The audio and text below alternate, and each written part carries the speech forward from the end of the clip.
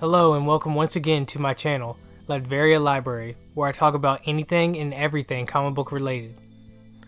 Now it's no secret that I love the more mystical and weirder side of the DC Comics universe.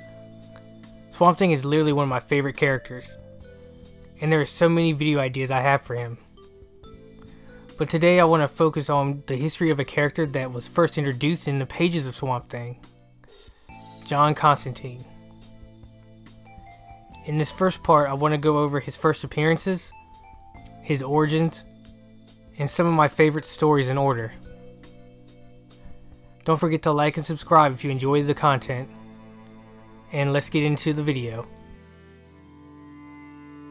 John Constantine first premiered in the saga of Swamp Thing on issue 37 in 1985 and was created by writer Alan Moore, artist Stephen Bissette, artist Rick Veitch, and illustrator John Totleben. Alan Moore started working on the character after Steve and John, who were big fans of the band Police, expressed wanting to add a character to the series who looked like the lead singer Sting. For those first appearances, Moore depicts the character as a chain-smoking, morally questionable sorcerer, which was later expanded upon by multiple writers. But we will get into that later. For now, Let's start with the first Swamp Thing story Constantine appears in American Gothic. Now, I've covered a, quite a bit of this story before in my Avatars of the DC Universe video, so I'll just give a quick rundown basically. Constantine has heard about a very old and powerful dark entity resurfacing. Wanting to know more about this entity, he starts traveling around the world asking his magic related contacts if they know anything about it. He's told a South American cult that worships this entity is going to awaken it.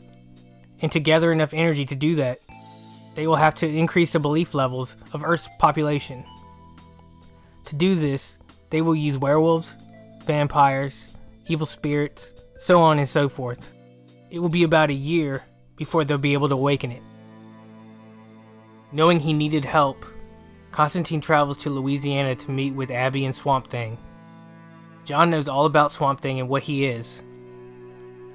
He tells him that he's connected to all plant life and can regrow himself anywhere in the world. But if he wanted to know more, he would have to meet him in Rosewood, Illinois in a week. Meanwhile, John's girlfriend has been having visions and drawing a man with his head twist backwards. While John is in Louisiana, she is attacked by this same man, and she falls out of her apartment window and dies. Turns out that man was sent by the cult. This will be a recurring theme in the Hellblazer comics. Everybody that gets close to Constantine ends up dead or worse, usually due to his own selfishness in some way. But more on that later. A week passes and Swamp Thing meets John in a swamp in Rosewood. He tells Swamp Thing about a vampire colony underwater and asks him to take care of them. And in return, Perhaps he would tell him more about the green. Frustrated with John's games, but having no other choice, he agrees. After the job was done, Constantine tells him that he failed because he let a family escape to tell what they saw. Therefore, he wouldn't tell Swamp Thing anything. This happens a few more times. Constantine tricks Swamp Thing into cleaning up some supernatural mess, then leaves without telling him anything. But finally, because of the crisis event, and the effect it had on not only the physical world, but also the spiritual dimensions. The cult could gather enough magical energy to awaken their dark god, which was their plan all along. They have known about the coming crisis for a very long time. Their goal is to destroy heaven. So it was finally time to confront the cult. But Constantine had a promise to keep. So him and Swamp Thing make a detour and end up in the Amazon rainforest. There, Swamp Thing learns about the Parliament of Trees, what he is, and his purpose. After, him and John head to South America to confront the cult with the Newcastle crew, who we will learn about later. But unfortunately, they fail their mission. Judith, one of the Newcastle crew, is transformed into the Messenger, who is the entity that is supposed to wake up the Dark God and the rest of them are killed. With no way of stopping the oncoming threat, John and Swamp Thing split up to recruit magic users to help them in their fight. While Swamp Thing and his army of angels and demons, thanks to Etrigan and the Phantom Stranger, fight off the evil old god in hell, Constantine and the mages use a psychic named Mento as a conduit to send their magical energies to aid Swamp Thing from Earth. But unfortunately, this great darkness was far too powerful. It lashes out at Constantine and the mages, killing Sargon and Zatara. While in Hell, not even the Spectre, one of the most powerful beings in the universe, could defeat it. It wasn't until the light from the heavens reached out and accepted the darkness that it was finally snuffed out. I remember reading this story for the first time when I was in middle school. It was just so beautiful and imaginative, and hard not to be in that moment or think of anything else. The writing is so eloquent, and the art is gorgeous and dark. It complements the writing so well. I know I really didn't do this story justice. There is a lot going on at once, and this video would be two hours long if I covered everything. I know I say this a lot, but if you are going to read a comic, this is the one to read. But back to Constantine. We don't learn much in the story about him, but we do get some hints. Like during the crisis issue, he mentions a Newcastle exorcism and ending up in a mental hospital afterwards, which we will learn a lot about during Hellblazer and how it's the driving force that guides his decisions. And at the end of American Gothic, he has a moment that kind of sums up his character. Swamp Thing says to him that he knew the danger and that most of his comrades wouldn't survive. And John tells him that he did what he had to do. And I'll just leave this story at that. After American Gothic, Constantine became a reoccurring character in the saga Swamp Thing.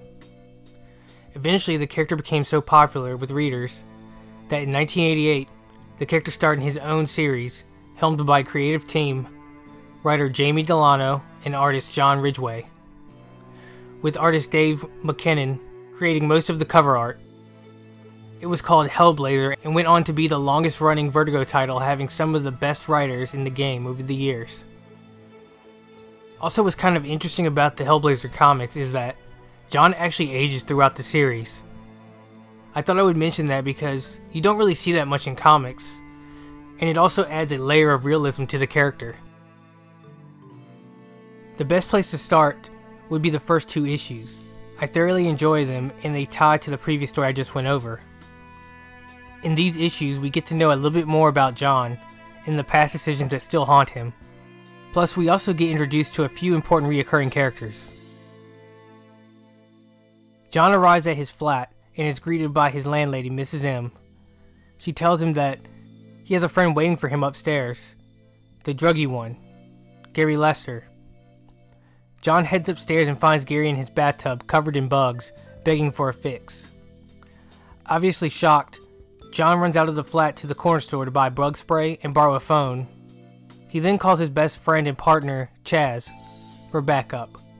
When he finally arrives, him and John tie down Gary and John begins to hypnotize him. While under hypnotism, Gary begins to recount an encounter with a demon named Mnemoth and how he ended up at John's place to begin with. The story begins with Gary looking for a fix on the streets of Medina, Saudi Arabia. He runs into a mute kid with strange tattoos. Gary can tell he's been possessed by something, and an overwhelming need to exorcise the demon overtakes Gary. But during the exorcism, he realizes that the demon wants out. Thousands of bugs start pouring out of the boy, and finally Gary is able to bind it to a bottle. But the boy didn't survive. The demon can feel Gary's need for a fix, and begins to talk to him. It says its name's Mnemoth.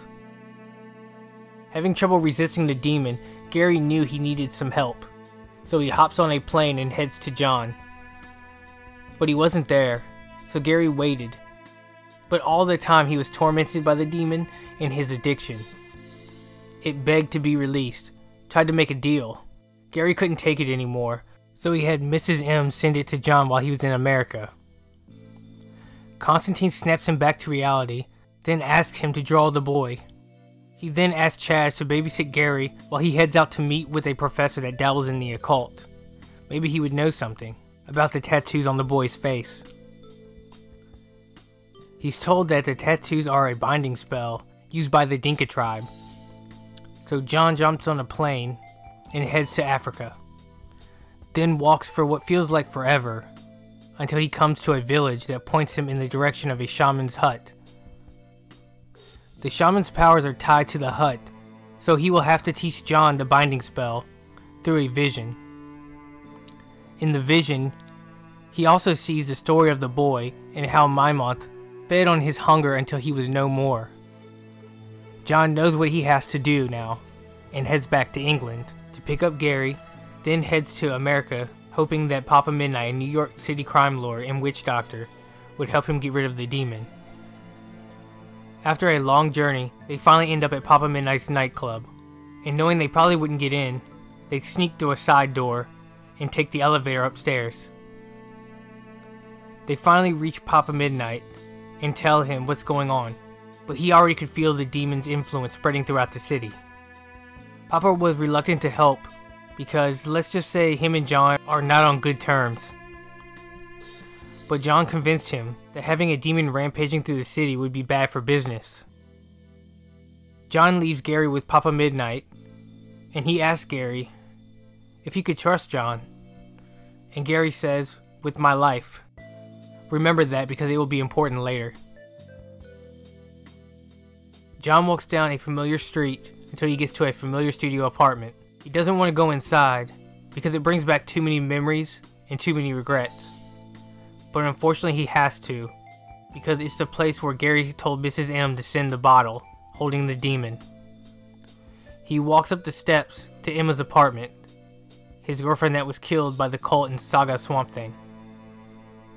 The new tenant opens the door, and John can still smell her oils and paint. He then walks to the window where she fell and turns around. Her death had inspired the new tenant, and John sees the painting. A bitterness rises in his throat, and he realizes the only thing left there were nightmares. So he leaves. But the guilt must be really getting to him, because behind him, Emma's ghost was standing. They talk for a while, and she tells him the whole crew was there, and that she's here to help with Mnemoth.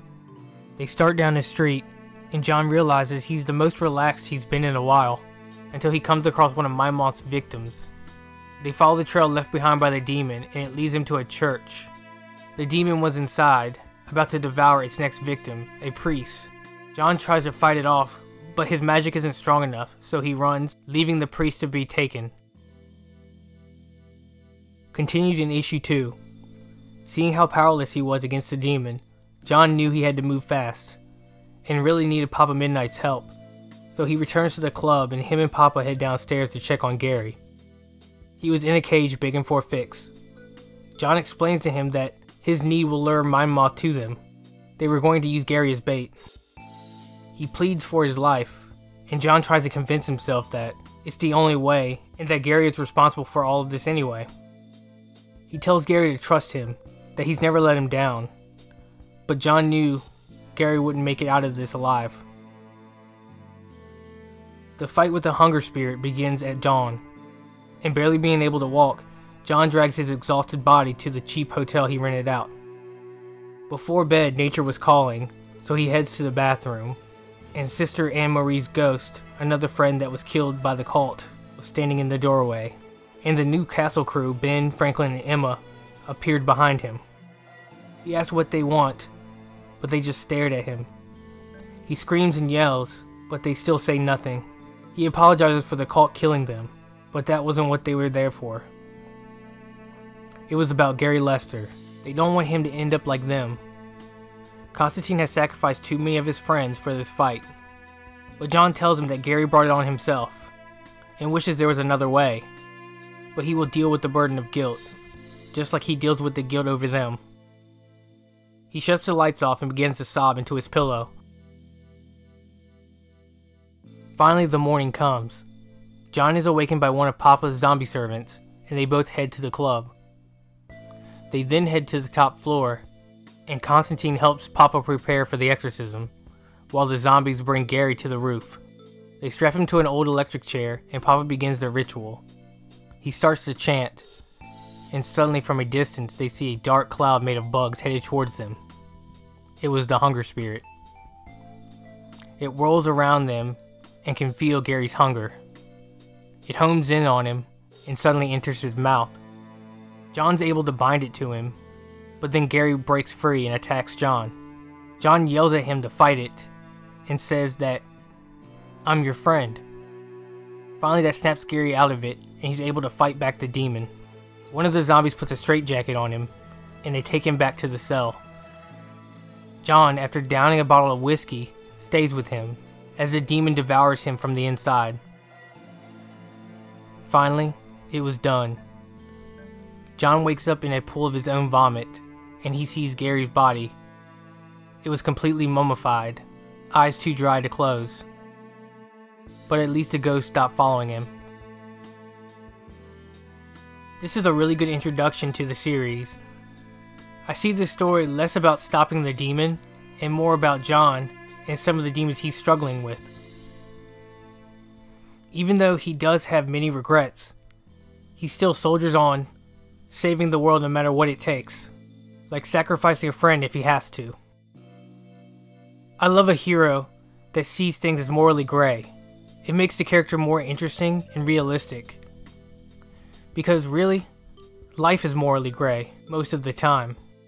So to me, it makes it easy to relate to him. Now, two characters we will see often going forward is Chaz and Papa Midnight.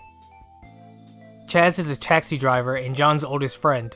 He's also John's main form of transportation. But he likes to keep him away from the more dangerous aspects of his job for obvious reasons. We will go over more of his backstory, probably in the next video. Now for Papa Midnight. He's the world's greatest expert on the occult, especially with curses and necromancy but also he owns a nightclub that's a front for more nefarious endeavors. Him and John are usually rivals, but they still work together from time to time if it's beneficial for them both. We will be seeing more of Papa in future videos. For now, the last thing I would like to cover in this video is the Newcastle incident. It starts in issue 11 and it's a flashback during a story where John is having trouble with a demon called Nergal he realizes that he's had trouble with this demon before in Newcastle years ago. It starts with John's team slash band Frank, Judith, Anne Marie. This is before she was a nun. Richie, Gary, and Benjamin. After a gig, the club owner, Alex Logue, invited them to a chapel he also owned to get drunk and do a little magic with some of his buddies. They agreed after seeing his daughter's pale face and eyes staring into nothing like a doll. Plus, Alex was well known in occult circles, and Newcastle has had reports of weird disturbances. Seemed like the most obvious place to investigate. They hear a sound coming from the cellar and decide to check it out. But what they found would be something they would never forget. Bodies ripped to shreds. Hard to say how many, but John counted at least four separate heads. Suddenly, they hear screaming from upstairs and rush to see what's happening. It was Logue's daughter, Astra. She had seen the horrors downstairs and was screaming and flailing. John and Anne try to settle her down so she can be hypnotized. They needed to find out what happened down there. Under hypnosis, she tells them her father would touch her and make her participate in magic and orgies. She begged and pleaded for help, and finally something responded to her cries. It rips everybody in the room apart and begins to eat them. John finally brings her out of the trance and puts her to sleep. It was an elemental nightmare created by Astra. John says it should be dormant as long as she's asleep. He then tells the crew the only way to stop it is to raise a really powerful demon from hell. Nervous but willing to try, they ask John how, and he tells them with the Grimorium Verum it had the ritual spelled out like ABC. Judith and Gary agree to help. Anne Marie looks after the girl. and the rest don't want anything to do with it. Constantine tells Frank to rig a gas tank outside so they can blow the place up if anything goes wrong. Then tells Gary to try and find a black cat, but then changes his mind. Meanwhile, him and Judith prepare. Finally, the ritual begins. They finish and wait, but nothing happens. John tries to chant again, but still nothing happens. Meanwhile, upstairs, Anne Marie and Astra sit in a protection circle when a portal opens, and it was John. He seduces her, tells her to come to him. You see, Anne Marie was in love with John. This is what she's always wanted. So she crawls towards him, leaving the protection circle. But it wasn't John. He sprays her in the face with something that looks like acid, maybe? She screams and jumps out the second story window. Constantine tries one last time to summon the demon when Astra interrupts, saying that he called for her, but he never did. Gary says he will take her back to the protection circle upstairs, but John yells at him saying, Nobody breaks this circle. But then Astra awakens a Terra elemental, and it busts through the floor. She then calls for it, and it moves towards her, but Astra rips off his head. Fear consumes John. He realizes the ritual did work, and the demon had taken control of Astra. He commands the demon to obey him, and to leave the girl, the demon says he has obeyed. He came even though John wasn't able to summon him. He even dispatched the evil corrupt deformity. John says once again, leave her, and the demon says very well. Astra then vomits up a grotesque creature akin to something in a Lovecraft story. The demon tells Constantine he cannot constrain him, the root of his power is in the name, and John does not know his name. As payment for helping, the demon wants Astra's soul. John tells him to take his instead, but the demon says he already owns his, and there is no negotiating. A portal to hell opens, and John chases the demon through. He finds Astra in there. They escape hell, or so John thought. He escaped with just Astra's arm. The demon laughs and says that this is just a taste of their eventual home. Constantine ends up in a mental hospital for two years after this incident. John has done a lot of bad things over the years, but this is one of the only things he regrets. Not only did it lead to a young girl's soul being trapped in hell, but it really messed up everybody in his crew, eventually leading to their deaths. A lot of people say that John fights demons and dabbles in magic because he is an adrenaline junkie, which is true to an extent, but I also think it's because of this moment. He wants to make up for his past mistakes, maybe even try to save his soul. At least at this point in the story, maybe. That's why he tries so hard. I don't think he would if he was just an adrenaline junkie. This is the end of part 1. If you made it this far and enjoyed the video, don't forget to like and subscribe. Thank you all for watching, and I'll see you in the next one.